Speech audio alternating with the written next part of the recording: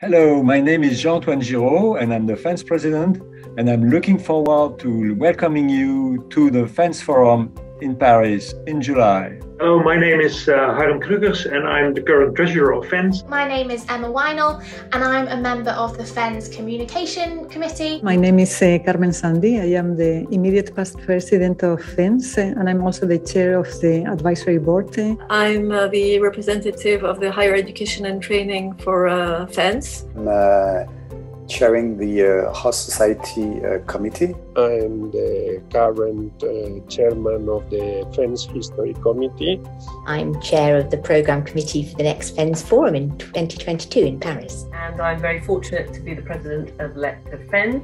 Uh, I would just like to extend uh, this message and uh, encourage people to uh, come to the FENS Forum next year in Paris. It's great to be able to welcome you to the FENS Forum. I'm really looking forward to meeting you at the next FENS Forum meeting in Paris 2022. I would be really excited to see you all in Paris. It's going to be a magnificent event. I'm really looking forward to welcome you all at the FENS Forum 2022.